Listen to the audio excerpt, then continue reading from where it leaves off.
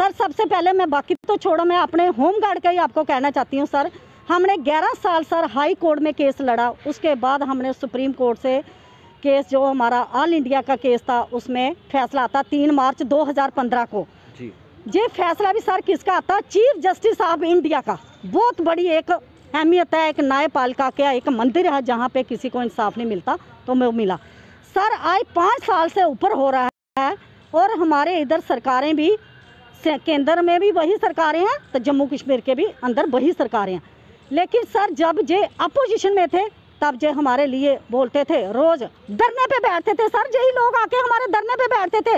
हमारे साथ रैलियाँ निकालते थे, जब फारूक अब्दुल्ला की सरकार थी, जो मैं माननीय अपने, जो हमारे इधर के प्रेसिडेंट अरविंद रैना जी है, उनको मैं इस मीडिया के द्वारा पूछना चाहती हूँ तो आप रोज आते थे हमारे साथ तो कभी सीएम की कोठी पे कभी किसी की कोठी पे रोज आते थे? आज आपके मुँह में क्यों जवान बांधा हमारे लिए बोले? जब, भाजपा ऑपोजिशन में थी तो आपके साथ कंधे से कंधा मिलाकर खड़ी होती थी लेकिन आज आए वो सरकार में है तो आपके साथ आपकी तरफ़ देखते तक नहीं। ना सर बिल्कुल नहीं। मुझे जो हमारे मंत्री विधायक हैं उनसे हमें गुस्सा बाकी हमें किसी से गुस्सा नहीं है जो हमारी महिलाएँ विंग है जहाँ कुछ वो वो तो बेचारे बने ही नहीं है। सर मैं उनके कहना चाहती हूँ हमारे पार्टी के प्रेसिडेंट है एक उनकी बहुत बड़ी पावर है। या तो वो करना नहीं चाहते या उनकी कोई सुनता नहीं है। मैं उनको भी दोष नहीं दूँगी। मैं कहना चाहती हूँ कि वो तो एक पार्टी प्रेसिडेंट है। प्रेसिडेंट की तो बहुत बड़ी पावर होती है। आज मैंने आज तक उनका नाम नहीं लिया। सर, मैं आज नाम लूँगी, क्योंकि मुझे भी दुख है कि जब वो हमें हर जगह पे पहुंचाते थे, आज वो आके हमारा फ़ोन तक पिक नहीं करते, हमारे लिए कोई आवाज़ नहीं उठाते। मैंने उनको सर हज़ारों के करीब उनको मेमोरेंडम दिए। उन्होंने खुद लेटर भी लिखे। वो लेटर सर कहाँ पे जाते थे? वो मेरे सामने लिखते थे। आज मैंने पीएम को लिखा। आज मैंने राजनाथ जी को लिखा आज मैंने अमित शाह जी को लिखा। आपकी परमिशन के लिए सात साल से सर एक परमिशन नहीं हमें पार्लियामेंट मोदी जी तक पहुँचा सके। तो उनकी सरकार को हमने क्या करना है? उनकी सरकार को हमने क्या करना? मैं बोलती हूँ देश आज़ाद हुआ लेकिन जम्मू कश्मीर में आज भी हम लोग गुलाम हैं। अंग्रेज़ों के टाइम का कानून चल रहा है सर इधर। हम कहते हैं कि जब इन्होंने जूटी बना दिया हम बोलते हैं अगर आपने सुप्रीम कोर्ट का ऑर्डर नहीं लागू किया सर जूटी का तो करो। जूटी के अंदर हमारी चंडीगढ़ स्टेट आती है। पांडिचेरी आती है, दिल्ली आती है, अंडोमान निकोबार आती है, दादरा हवेली आती है, लक्षद्वीप आता है।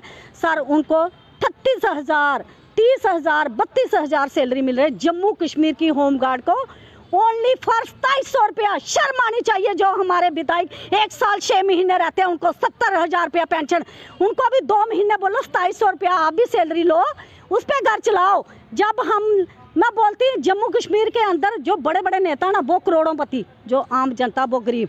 फिर भी जब कहीं डोनेशन की बात आती है तो भीख मांग के हमसे उधर तक पहुंचानी है, लेकिन अपने घर से आप करोड़ों रुपए कमाते हो। आप नहीं है कि करोड़ गवर्नमेंट को जब कोरोना आया, देना था। हम गरीब लोगों ने हेल्प की, जितनी जितनी भी होती थी, हमने मोदी जी तक पहुँचाया। लेकिन हमें सरकार ने क्या दिया? हमारे होमगार्ड को एक किलो राशन तक। मुझे बताएँ, इन्होंने क्या दिया? कभी किसी ने पूछा नहीं। इनकी बेटियों के लिए एडवर्टाइजमेंट निकल जाती है स्पेशल पोस्टें निकल जाती है। उनके लिए एक एक पोस्ट क्रिएट हो सकती है। जब हमारे मीडिया भाई उनको क्वेश्चन करते हैं कि इनका सुप्रीम कोर्ट का ऑर्डर था, सारा आपने इनको हमें पता ही नहीं इनका सुप्रीम कोर्ट का ऑर्डर मैं बोलती हूँ, मेरे सामने मैं उनको पूछूँगी कि मैंने सारा आपके पास रोज सात साल तक चलती रही। आपको हज़ारों मेमोरेंडम मैंने सेक्ट्रेट के अंदर, इनके अंदर, सभी के अंदर। तो आप कहाँ पे वो मेमोरेंडम फेंक देते हो? जहाँ आपको पढ़ना नहीं आता है। वो क्या आपको सिर्फ़ एक दूसरे के खिलाफ बोलना आता, पढ़ना नहीं आता? कि कानून क्या है जम्मू के अंदर? क्या हो रहा है हमारे जम्मू के अंदर युवाओं के अंदर? तो मैं बोलती हूँ इनको बार बार हमें इक्वल वर्क इक्वल पे समान वेतन, समान कार्य। सर, दिल्ली के अंदर भी मैं बोलती चाहे हमारे पहले सरकारें थी, जहाँ अभी सरकारें थी, पहली सरकारें फिर भी सर थोड़ा पार्लियामेंट के अंदर बोलते थे, जो कुछ थोड़े बहुत इशू होते थे, वो भी हमारे होते थे। लेकिन जबकि हमारी अपनी सरकार अपना सारा कुछ जम्मू से, मैं बोलती हूँ, सर, अभी पार्लियामेंट लगी है।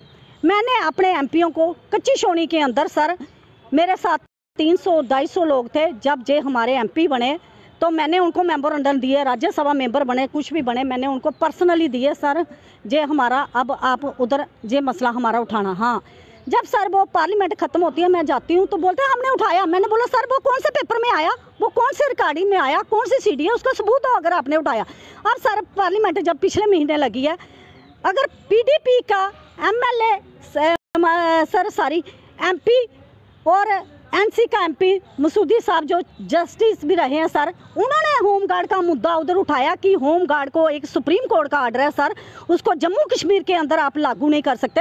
क्या हमारे जो एमपी थे, उधर बोल के थोड़ा सा उठ भी जाते थे, सर, एक बार ही बोल देते थे ना कि हाँ सर, इनके साथ इनजस्टिस हो रहा है जस्टिस करो। सर, हमारा मसला हो जाता।